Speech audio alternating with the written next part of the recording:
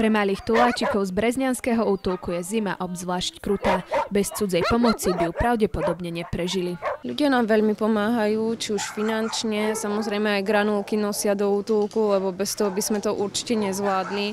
Taktiež nosia teraz v zimnom období deky a staré utierky a tak ďalej, ktorý, ktorých tu máme proste málo vždy, lebo toho je veľká spotreba. Čo im však chýba najviac je nový domov a ľudská láska. Na svojich majiteľov čakajú aj tieto nádherné psíky. Sú poslušné, vychované a majú hygienické návyky. Všetko, čo musíte urobiť, je podpísanie adopčnej zmluvy. Tá stanovuje, že psíka si môže adoptovať len osoba staršia ako 18 rokov, ktorá sa preukáže občianským preukazom. Taktiež musí nový majiteľ uviezť adresu, kde sa bude psík nachádzať v prípade spätnej kontroly.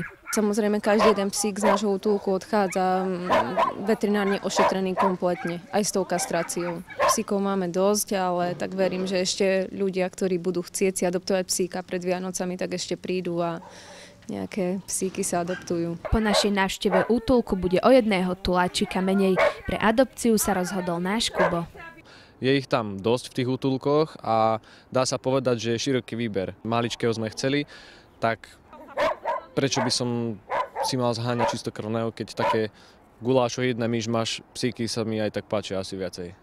Ak by ste si chceli adoptovať psíka aj vy alebo útulku pomôcť, nájdete ich každý deň na staničnej 1 v Brezne. Útulok môžete kontaktovať aj prostredníctvom Facebooku, kde si môžete svojho budúceho psíka aj obzrieť.